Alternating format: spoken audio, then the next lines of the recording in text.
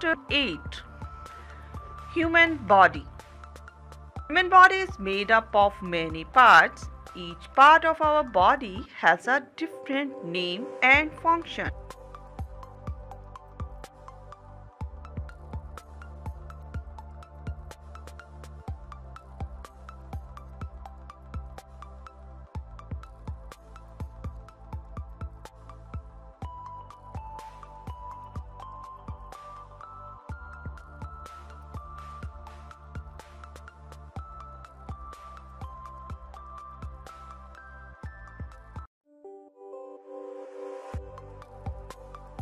Our body parts help us. Our body has many parts head, eyes, ears, lips, hands, legs, etc. are different parts of our body. Parts of our body perform different functions such as eating, writing, cutting, playing, walking, running, caring, etc. I can see the things around me with my eyes. I can hear different sounds with my ears.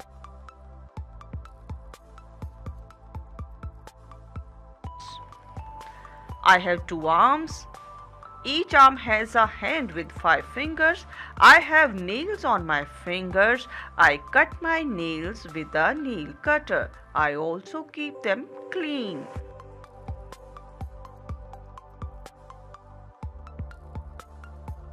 Write, cutting nails, eat and draw. Scientific fact Our arms and legs are together called our limbs.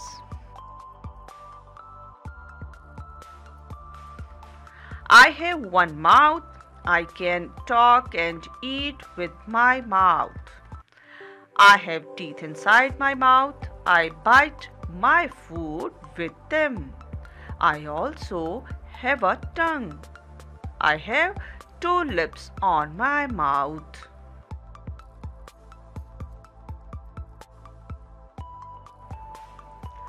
I have one nose. I can breathe and smell with my nose. I also have two cheeks, one chin and one forehead. There is hair on top of my head.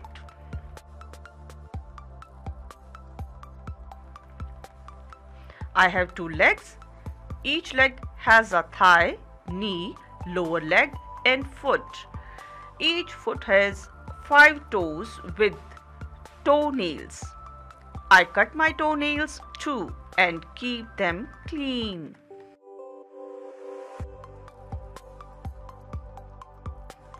Walk, jump, stand, run. Sense organs. We all have five sense organs. Sense organs help us to feel the world around us. The five senses are sight, smell, hearing, taste, and touch. The skin is the largest sense organ of our body.